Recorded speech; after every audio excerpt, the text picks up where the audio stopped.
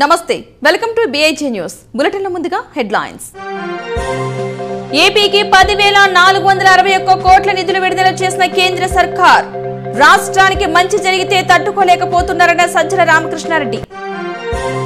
Civils రెండు వేల ఇరవై రెండులో తొమ్మిది వందల ముప్పై మూడు మందిని ఎంపిక చేసిన యూపీఎస్సీ. మొదటి ర్యాంకు సాధించిన ఇషితా కిషోర్ నాలుగు ర్యాంకులు అమ్మాయిలవే.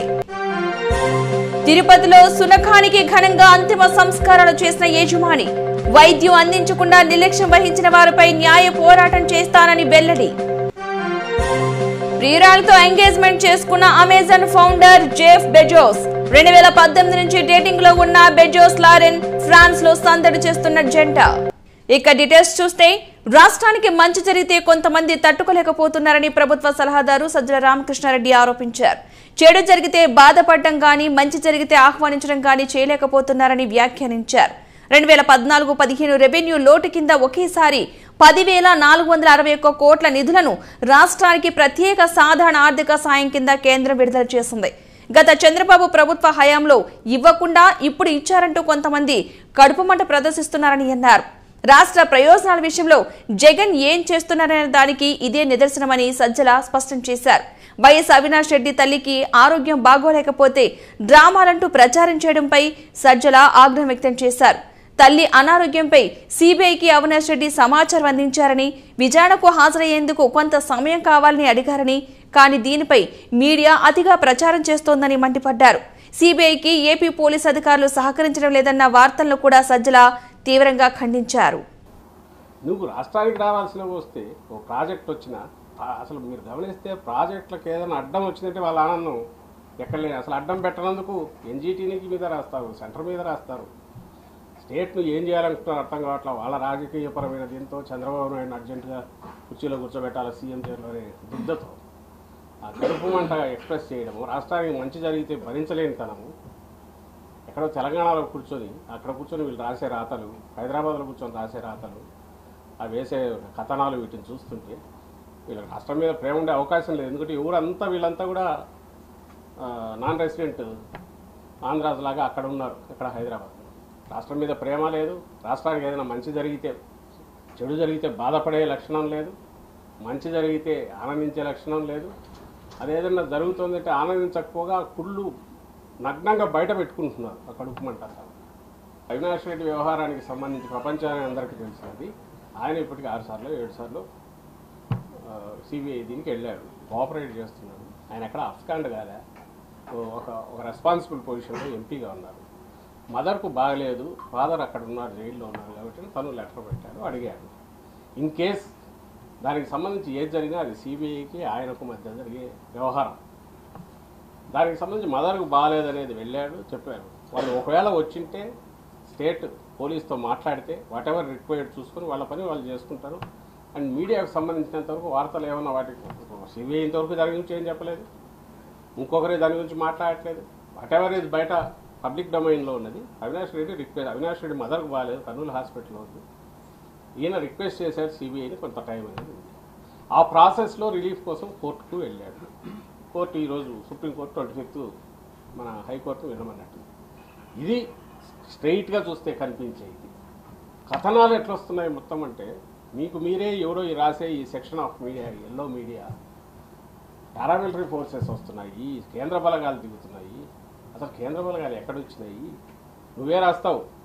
నువ్వే మళ్ళీ దానికి వచ్చి కేంద్ర బలగాలు రాకుండా ఏదో చేసి మీ అమ్మాయి చేస్తారు మళ్ళీ మీరే అంటారు. అసలు ఎందుకు వస్తాయి? మీ ఇష్టం వచ్చి నిన్నంతా డిబేట్లు ఆ రెండు ఛానళ్ళు నా రెండు మూడు ఛానళ్ళు కానీ ఈరోజు ఆ పత్రికల్లో వచ్చింది కానీ.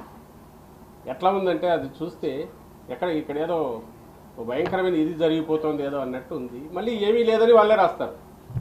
ప్రస్తుతం ఆస్ట్రేలియా పర్యటనలో ఉన్న ప్రధాని నరేంద్ర మోదీ ఆస్ట్రేలియా ప్రధాని ఆంతోనీ ఆల్బనిన్తో ద్వైపాక్షిక సమావేశం కానున్నారు. మోదీ మూడు రోజుల ఆస్ట్రేలియా పర్యటనలో భాగంగా ఈ సమావేశం జరుగుతోంది.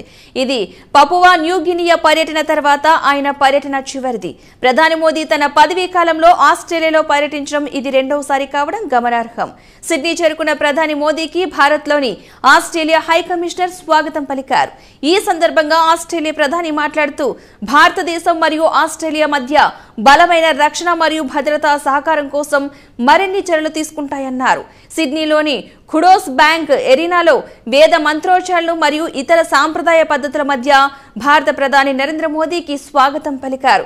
అక్కడ ఏర్పాటు చేసిన ఓ మీటింగ్లో మాట్లాడిన ఆస్ట్రేలియా ప్రధాని మోడీయే బాస్ అంటూ వ్యాఖ్యానించారు. ఢిల్లీ లిక్కర్ స్కామ్ కేసులో మాజీ deputy CM Manish Sisodia judicial కస్టడీని June ఒకటో తేదీ వరకు స్థానిక కోర్టు పొడిగించింది.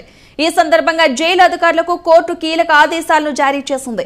సిసోడియాకు జైల్లో ఒక కుర్చీని టేబుల్ని పుస్తకాలను సమకూర్చాలని ఆదేశించింది. మరోవైపు కోర్టు హాలు బయటకు వస్తున్న సమయంలో మీడియాతో సిసోడియా మాట్లాడుతూ ప్రధాని మోదీకి ప్రజాస్వామ్యంపై నమ్మకం లేదని విమర్శించారు. మోదీలో అహంకారం పెరిగిపోయిందని అన్నారు. అయితే సిసోడియా పట్ల పోలీసులు వ్యవహరించిన తీరుపై ఆమ్ ఆద్మీ నేతలు మండిపడ్డారు.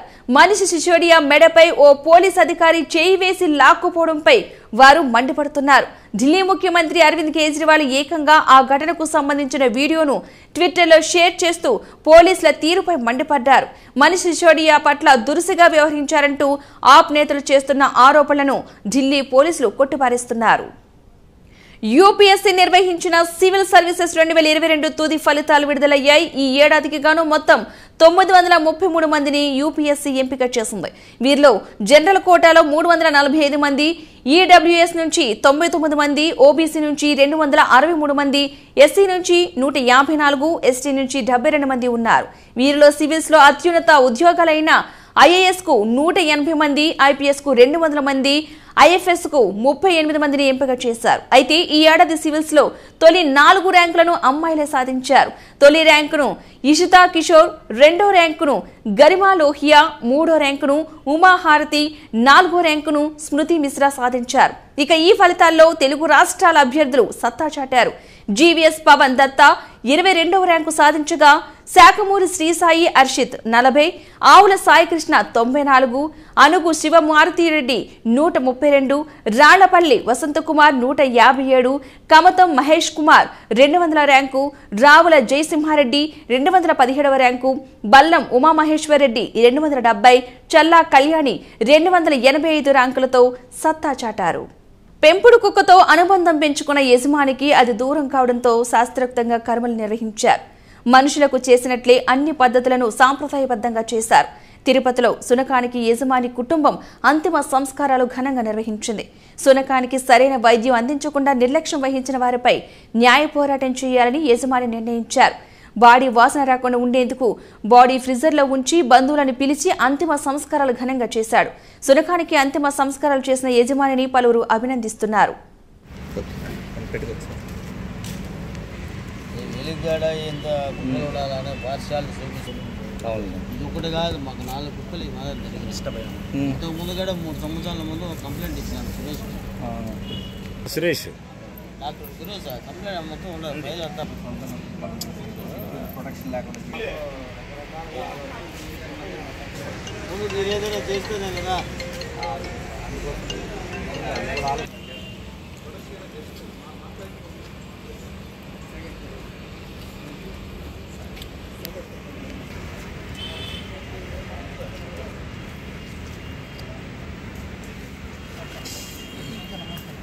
లాగా ఎగురుతుంది. అక్కడే ఉంది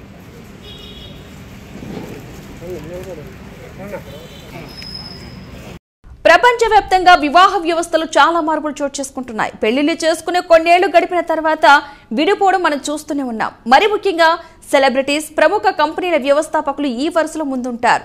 ఈ క్రమంలోనే అమెజాన్ వ్యవస్థాపకుడు జెఫ్ బెజోస్ తన వివాహ బంధానికి స్వస్తి పలికిన తర్వాత ప్రియురాలు లారెన్ శాంచెస్తో నిశ్చితార్థం చేసుకున్నాడు. అమెజాన్ అనేది ప్రపంచంలోనే అతిపెద్ద ఈ కామర్స్ కంపెనీ. ప్రేమలో మునిగి తేలుతున్న వీరిరువురు ఎంగేజ్మెంట్ చేసుకున్నట్లు తెలుస్తోంది. మాజీ బ్రాడ్కాస్ట్ జర్నలిస్ట్ అయిన యాభై మూడేళ్ళ లారెన్ యాభై తొమ్మిదేళ్ళ జెఫ్ బెజోస్ రెండు వేల పద్దెనిమిది నుంచే డేటింగ్లో ఉన్నట్లు తెలుస్తోంది. కానీ బెజోస్ అప్పటికీ తన భార్యకు విడాకులు ఇవ్వకపోవడంతో ఈ విషయాన్ని సీక్రెట్గా ఉంచారు. అయితే రెండు వేల పంతొమ్మిదిలో బెజోస్ తన భార్య మెక్కన్జీ స్కాట్తో ఉన్న ఇరవై ఐదేళ్ళ బంధానికి స్వస్తి పలికి విడాకులు తీసుకున్నారు. ఈ ప్రేమ పక్షులు ఇప్పుడు కేన్స్ ఫిలిమ్స్ ఫెస్టివల్ కోసం ఫ్రాన్స్ చేరుకుని సందడి చేస్తున్నారు. ఈ kiwi bulletin updates. Keep watching BAG news